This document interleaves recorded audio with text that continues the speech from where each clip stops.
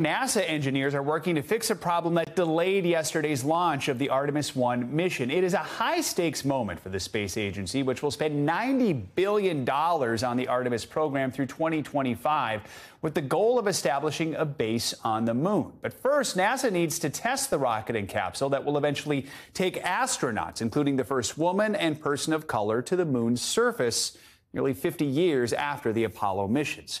Joining us now is Lori Garver, NASA's former deputy administrator and author of Escaping Gravity My Quest to Transform NASA and Launch a New Space Age. So good to have you with us, Lori. Thanks for joining us. Give us a sense of what you think is going on right now at Kennedy Space Center and, and how concerning are these tech problems?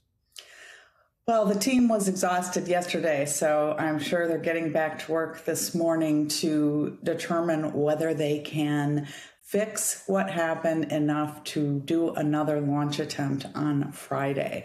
This is a really important mission because NASA has um, been at it for 12 years. It has cost $43 billion. And NASA, in a way, feels, um, I think, that it's competing with the private sector who has been successfully launching astronauts these last couple of years and SpaceX.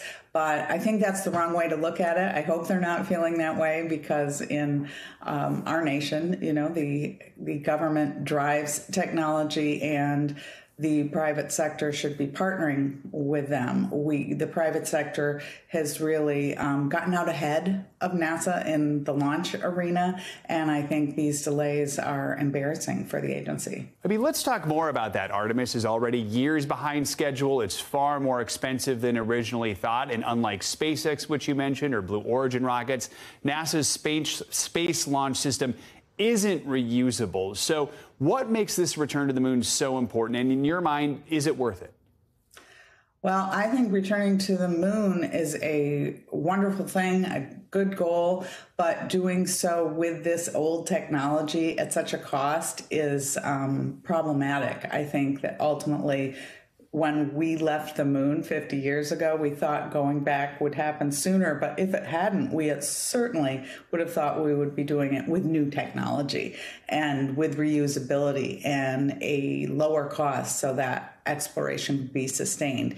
You know, NASA uses the words uh, sustainable, and we're going uh, on the moon to then learn how to go to Mars. But in actuality, these are reused shuttle parts, and they aren't working so well.